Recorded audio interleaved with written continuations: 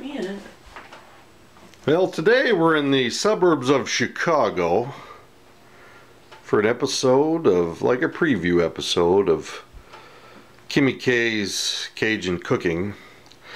And what we want to show you here today is a crock pot made chicken taco mix.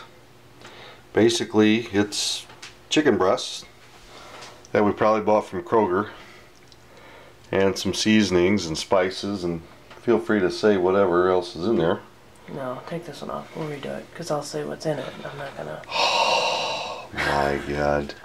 Hell of a start for a first cooking show. At any rate, that's what chicken Tacos. with the It wasn't a chicken mix, tacos. It wasn't a mix. Well, She I mean, she says it was not hamburger helper, but I don't know if I should believe that or not. It looks pretty good. Smells even better, and it is great. We've had it before, and it is 25 grams of protein 25 grams of protein per serving. per serving. So that's Half a cup. four servings is 100 grams of protein for you without a calculator out there. so, uh, yeah, basically in the lid on this one, we got the lid in a safe spot to where the lid won't fall off the counter.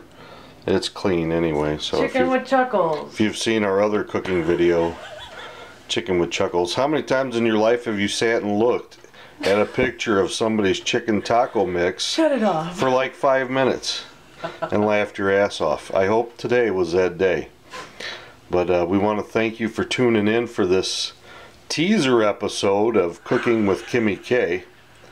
Um, we don't have smell-o-vision on this yet, but we're working on it. So um, we will post a video of this very soon of how to make this.